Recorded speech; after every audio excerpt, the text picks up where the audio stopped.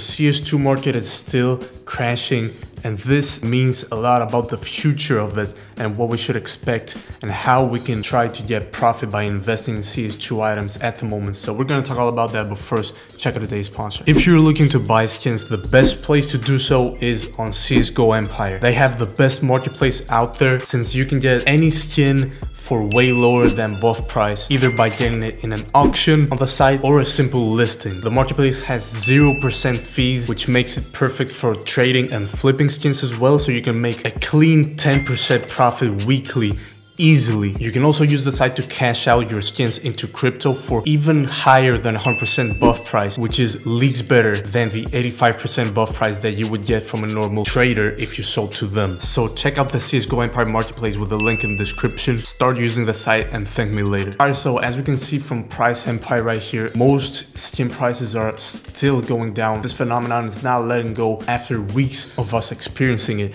in the CSGO market. And I think this is a very good thing actually because now that we're in a dry period and the market can finally drop to the prices where it should be instead of it being super inflated we can actually look at some good investments to prepare for and make money from once the right time comes. So yesterday Valve actually released an update to CS2 and it was the most minuscule update, the smallest update I've seen in a while. They only changed miscellaneous things as they call them in the patch notes so you know there was nothing really to worry about when it comes to skins in that update right? Well, not exactly, but we're gonna find out what they changed and if they changed anything regarding skins sooner or later. But regardless of that, the fact that we got a pretty hype new update containing the new community servers in CS2 and the workshop as well, and the market still continued to crash, we can expect it to keep doing so for at least a couple more weeks.